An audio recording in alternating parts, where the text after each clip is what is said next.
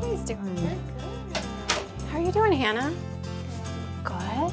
Family medicine really was just the best fit because you get to see a little bit of everything and you get to see all different types of patients. My name is Margo Sherman and I'm a family medicine physician with ProHealth Care. Can you show me how, how old you are? Three. Good job.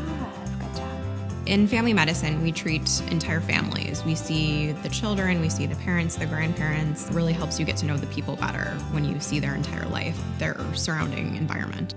My decision to become a physician was a gradual thing. My mother was a teacher, and so always important to know that you are going to do something to contribute and to help people someday. I went to medical school here in Milwaukee at the Medical College of Wisconsin and then applied to residency as a family medicine physician. Um, I did go to the Mayo Clinic Family Medicine residency in La Crosse, Wisconsin for my residency. So I am bilingual in Spanish. Voy a empezar el examen, si está bien. Está bien. Ok. Gracias.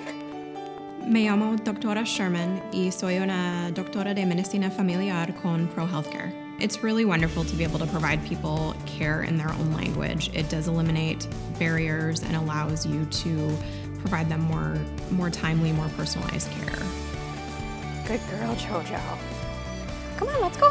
When I'm not at work, I enjoy being active, taking my dog for a walk or to the dog park, going for a bike ride. I'm a vegetarian and enjoy cooking healthy vegetarian food and try to do that as much as possible. Can you take some big breaths for me so I can listen to your lungs? My biggest goal for patients is to work together as a team with the patient to get them the best care that they can have so that they can live a better life. Can you give a big goodbye?